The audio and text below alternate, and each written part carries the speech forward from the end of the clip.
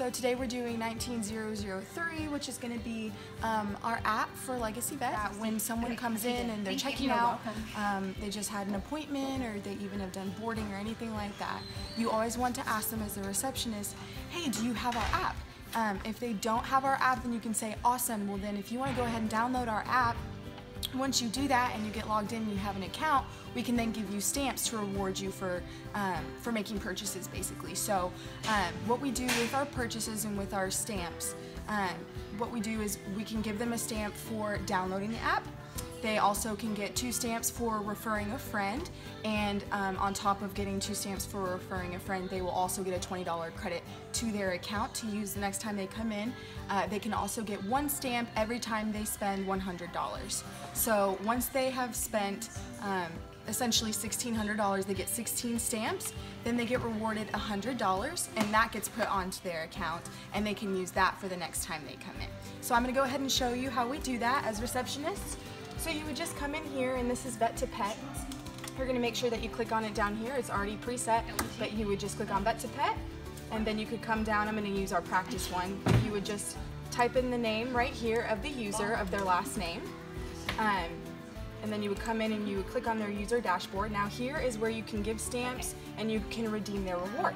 So say they've been given 16 stamps. Let's open this up. Add stamp. so this top one, this is gonna be the stamp that you're gonna give them for downloading the app. Yeah. This second one is the one that will automatically give them two stamps, and that will um, that's because they referred a friend. And then this last one is for spending $100. So you would just give them their stamps according to what they have done.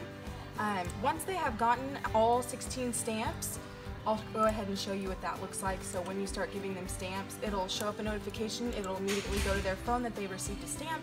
Once you get 16 of those, it'll tell you and you can redeem their reward. And it'll say right here, redeem reward, meaning they've got 16 stamps. You would click yes. And then you would want to come over here to their account. and then you would just press new. Come over here, new. And then make sure you put in loyalty. And then you can click on loyalty card. It'll say negative 100 and you click done.